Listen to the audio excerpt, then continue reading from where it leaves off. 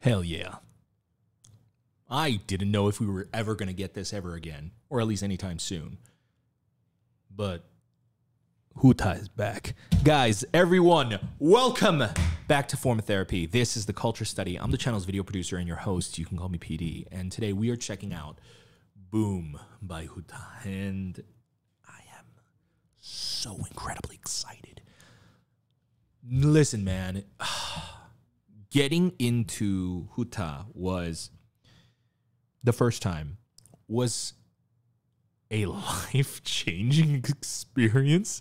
Um, Minhyuk is like one of my favorite idols because if you're if you know what he's capable of, obviously whether you're a BTOB fan, Huta fan, or you watched Kingdom, Minhyuk is like a quintuple threat. You know, he writes and composes his own music.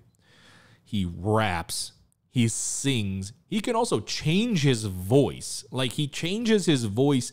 Like mid rap, he can change his voice so it sounds like there's two rappers, or like he can change his voice mid singing so it sounds like there's multiple vocalists. Like he carries everything like at, at least with um uh, his debut yeah um he covered like all the positions that would be in an ordinary full boy group but as one person and then he can dance his goddamn ass off he is an incredible incredible incredible solo act and so i'm very excited to check this out with you all today and you know i love BTOB so, you know, there's that additional factor.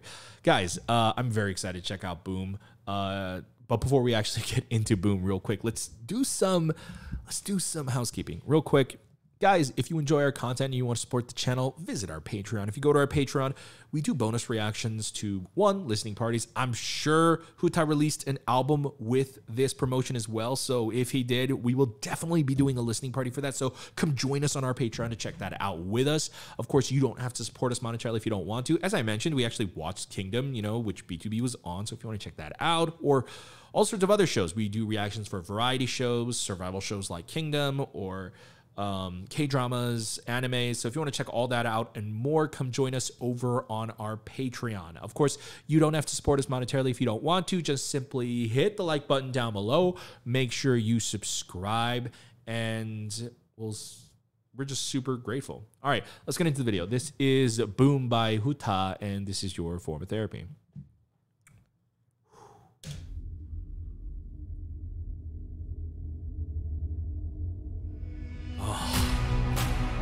Oh. Oh.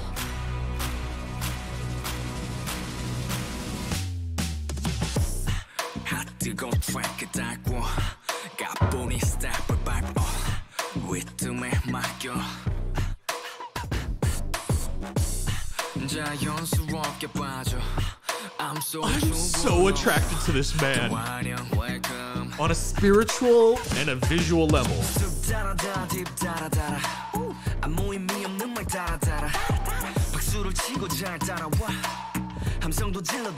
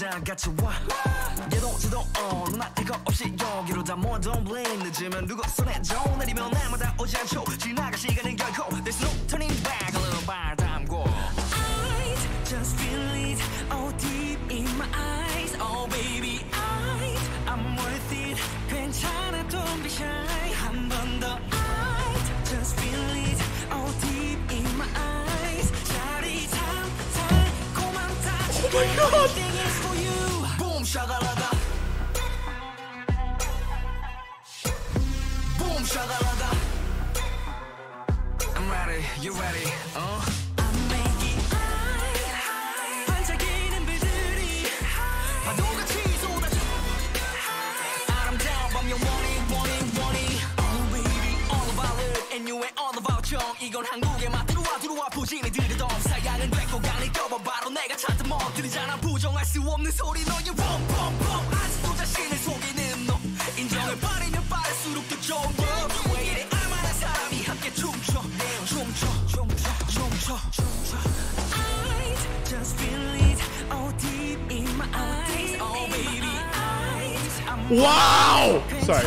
I'm sorry. That was right into the mic. I'm so sorry, guys. I'm losing it.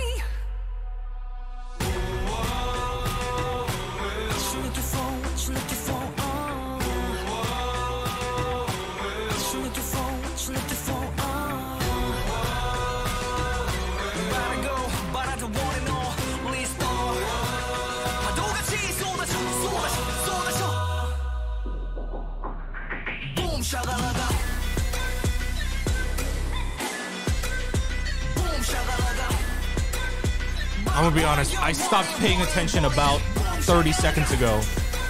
My brain is like completely fried now.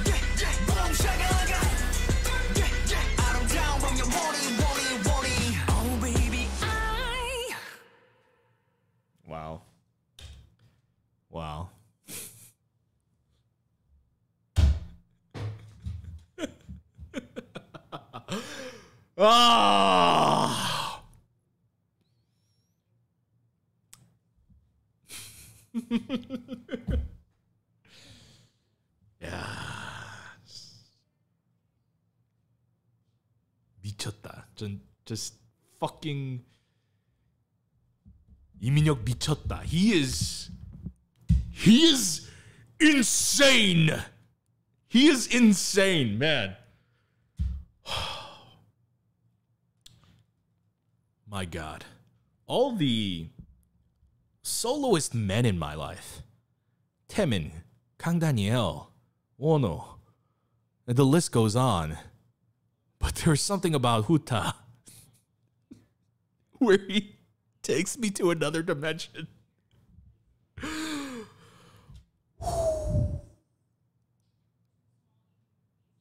okay. Ooh, okay. Wow. Um hey, remember how I said he could transform his voice? How was that? How was that? Because I loved it. Uh I mean, he so some, something I really liked about his debut with Ya is that he could once yeah like slip from like a really like sharp like almost like assaulting rap to like really beautiful vocals real quick but also even within his vocals like his range was actually kind of like really stupid for like i mean anyone in general but he's also the rapper you know in BTOB and it's so crazy like it's so crazy. Like he really leaned into that even more this comeback. Like he leaned way more into playing with his voice. Like those I mean, that was kind of like the spotlight of the song. The the hi is so incredible. I don't know how he does it. He's so good. He is I love BTOB, man. I love Lee Minhyuk, man. I love these guys, man. But Huta, he is just something so different. And oh my god, the the pacing of the song was fantastic. Uh, the music video was great. I mean, it was such a great trippy visual ride, but it also wasn't like incredibly uh, noisy and complex. Like the, something that's happening right now, and this is not a bad thing, but like you're getting a lot of like these wild transitions in K-pop. You know, uh, you're getting like that you know, like the very kind of messy scrapbook editing type of stuff like you see in like (G)I-DLE's Tomboy, remember? That's not a bad thing, but it's cool to see like really trippy visuals that are super clean as well. Like right now we're going through like a grunge phase a little bit in K-pop and that's cool, but like he was like just slipping in and out, you know, in that first half of the song. okay. Um let's watch that again. Um, I'm gonna try to pay attention. Uh, I, I'm gonna be honest. Like the last 30 seconds of that music video, I stopped paying attention, both audio and video wise. Like I was just so gone at that point. Like it was actually too much of a chemical reaction in my brain. I couldn't process anymore. Um, but uh, we're gonna watch it again, and we're gonna watch it properly this time. And uh, I think to do that, I've got to sort of like put my gay away. I, I have to take the gay out of my brain and then put it in a box somewhere else. And then once the camera is off, I can unleash the gay again. Um, let's check it out. oh, it's, a oh, it's an album too. Oh my god, I'm so excited. If you guys have never heard his B-sides, uh, first of all, check it out. He has a song with Soyeon from (G)I-DLE that is like one of the greatest songs of all time. Um, you should totally check it out. It's called Hangout, by the way. Uh, at a certain point in the video, I think towards the end, he actually puts the mask back on. So it starts with him taking it off. Interesting. Um, all right, so this set already, when I first saw it, I was like, ooh, we're getting like a it's got a mix of like a dojo, but also like a billionaire's evil lair sort of like concrete vibe to it. I dig it. Oh, the start is so powerful. Wow, the start is so powerful. He's like a king and he's on a throne. Ooh, zoom out the snap. Ooh. Ooh, wait, those are arcade machines. Wow, hold on. Okay, so set design is actually fascinating. Actually, hold on. I think we gotta go back more. I wanted, I wanted to see what he like lit up. Ooh, okay, so it's the lighting above.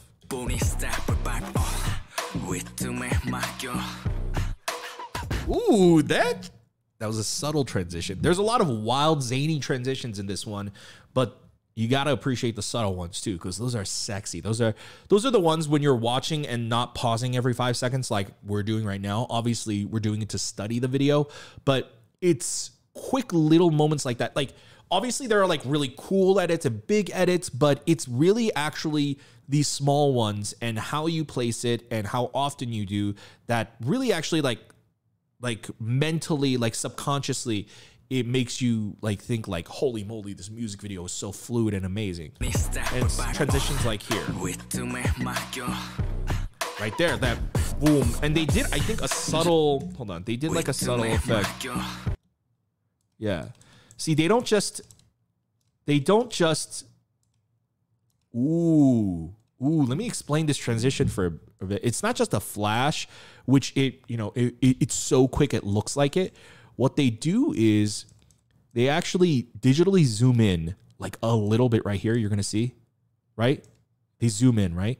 So it gives you like a like this but it's so fast you're not even going to fully translate that but subconsciously you're going to kind of like interpret it. And then there's the flash but they also then added like a kind of like a shaking effect on his. You can see like it's blurry right? But it's not just blurry because it's blurry. It's blurry from like the vibration. See see how it's like shaking? You can see like the like like the like the vibration edit that they put on top of it. That makes it look like that. That was really good. Ooh, great camera work. Oh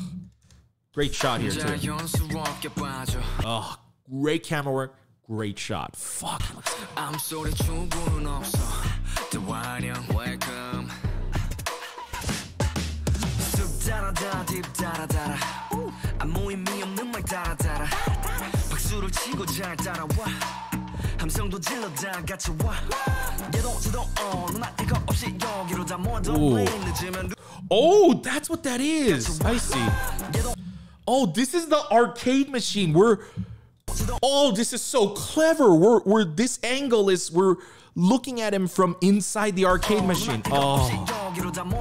Oh, so well done. So clever.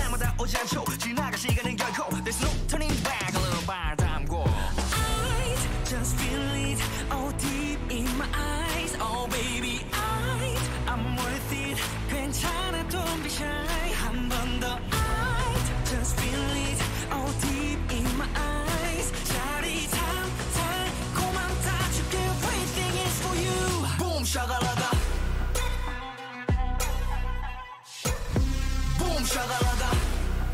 Whoa! Okay.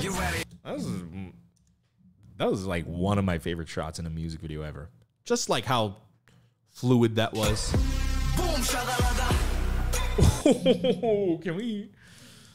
Was that a cut or was that an actual? Let's see. Was there a cut in there, or did they actually, from this far away, move in on him? Okay, that looked like a cut, but hold on. Yeah, that's a cut. Okay. Yeah, they cut here, but still, this is still pretty far. Well, it looks like they're shooting this on a pretty wide lens, maybe somewhere between like a 24 and a 35, and then ooh, ooh, I'm ready. ooh, that was smooth.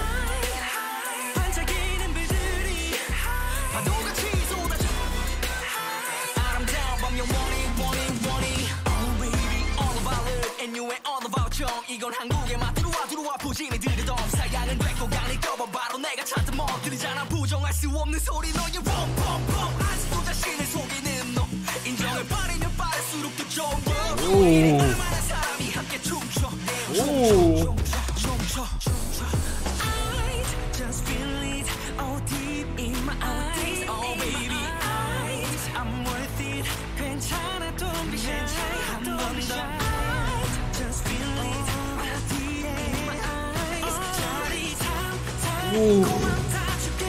Choreo is so great too. I gotta say, I, I really want to compliment um, two aspects of the production because it's one of those music videos where they essentially only have two sets and that's it. Like they're using the same sets for the close-ups, for the dance, for the everything, everything, everything. Um, but I would not call this a low budget video either. What I think the team does really, really well because there's very few changes in sets, very few changes in the story, which could make a video feel long and dragging and bore the audience. So, what they did really, really well, I think one, their director did an amazing job. I think to direct this video in a way that it's interesting and it keeps people titillated throughout the entire viewing experience, I, it, while only keeping the mainly two sets, I think is an incredible feat. And I think that's really well done. The editing team, I think the editing team did such a superb job at making these transitions. Like, even just right here, boom even just whoa what was the fuck was that? Hold on sorry. Even just like right here if you look at this shot right here. Like even just it's they cut they cut on this and then it cuts to right there their editing is really really on point. This is a very simple match cut but still it's edits like this that really make this music video shine. It's not just like the crazy transitions. Obviously those are fantastic too but those are the things that you can notice like obviously the stuff that they do on a subliminal level on like the careful little level they did so well and so I really want to compliment the editing team. Um, I mean, I think the production team, the lighting team is fantastic. I mean, just lighting these, having to light these woods and the way they're lighting it too, I think is really difficult. So I think they did an amazing job. Ooh, that was a transition. Ooh, see that too. Three cuts right there. Three cuts. And so ah, they had to shoot a lot of B roll. They had to shoot a lot of B roll. So, wow, I, I, I think this team did an amazing job producing his video. Ooh, he like teleported. Oh! Wow, that's such an unconventional angle. Hold on.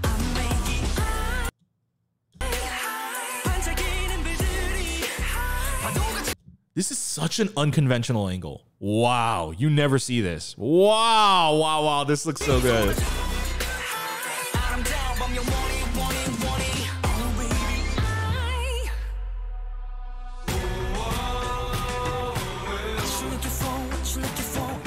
Oh my god.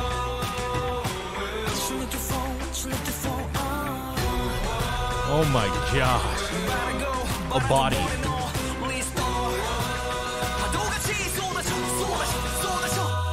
Oh, what was the camera work Whoa! The cameraman was like, the cameraman is so basically they're like squatting and they're like moving like this. Whoa! Under him, by the way, they're shooting like from here, like down to up. Whoa! Boom. Boom.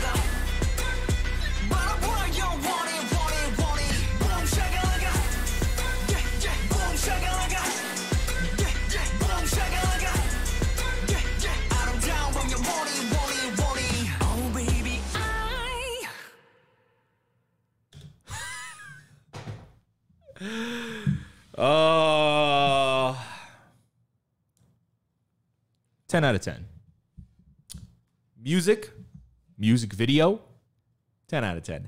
Um, I'll admit, uh, I, I've been filming today and I have ran into some very unsatisfying music videos today. And so I think it is, this is like the ultimate just ah sigh of relief like ah good filmmaking ah amazing filmmaking ah artistry at work like my brain like the just the chemical serotonin boost i'm getting from watching the art that is boom both on a musical level and a visual level is impeccable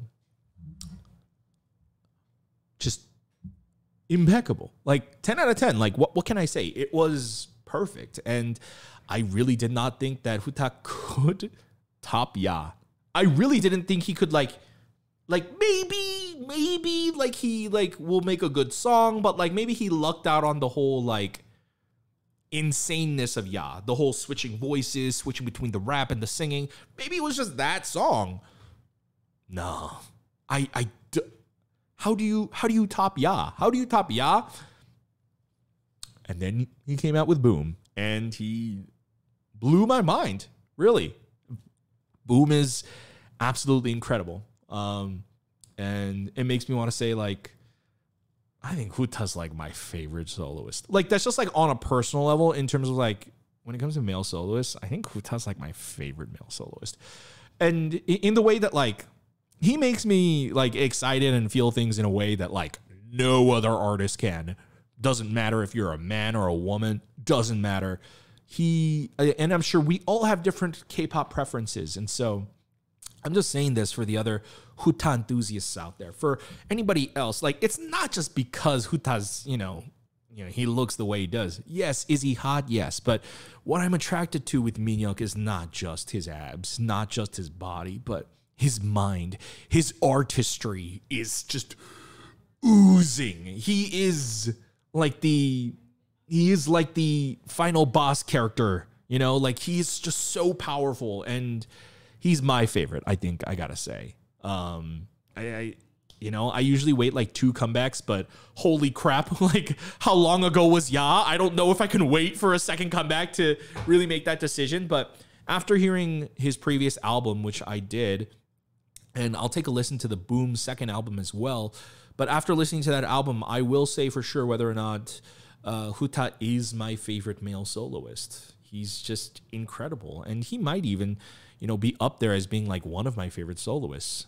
And so I want to pass the question off to you guys. What did you guys think of Boom by Huta? Is, is there anyone in the audience who's watching this where you can say Huta is my favorite male solo artist? I have a lot of people vying for that spot. That's not spot spot, and it is difficult to choose because you've got the likes of like Wonho, you know, coming into the mix, fighting for that crown. Kang Daniel, you know, Taemin, as I mentioned before, uh, Key. You know, there's so many. There's so many, and like I'm trying to get into Onew now, so like it's uh we'll, we'll we'll see. But um, I really enjoyed this. I want to know what you guys thought about Boom. And for those of you who loved Ya, what do you guys think about Boom in comparison to Ya? What do you think of the shock factor? Let me know in the comments down below. Uh, guys, thank you for tuning in. I hope you guys enjoyed it. If you want to support the channel once again, we're going to be doing a listening party for Boom uh, for Huta. So if you want to check that out, join our Patreon. Uh, unfortunately, that's going to actually be in August. Uh, we we do like um, listening parties a month later. So if you want to check that out, you if that that listening party, you're gonna want to join our August Patreon. But we also have tons of other content. We have other listening parties that we're releasing this month. But we also check out variety content, survival shows. We checked out Kingdom, as I mentioned, that BTOB was in, uh, K dramas, anime. So if you want to check all that out and more, join our Patreon. Of course, you don't have to support us monetarily if you don't want to. Just simply hit the like button down below. Uh, go ahead and leave a comment. Let us know uh, what you guys thought about the video, um, what you guys thought. What did you guys think about Boom in comparison to Ya? Uh, go ahead and subscribe over here. Hit that notification bell. Whenever Huta has another comeback, I will most definitely be reacting to it. So make sure you subscribe. All right, guys, thank you for checking it out. Uh, you can check out our other videos over here and have a wonderful rest of your day. Bye, guys.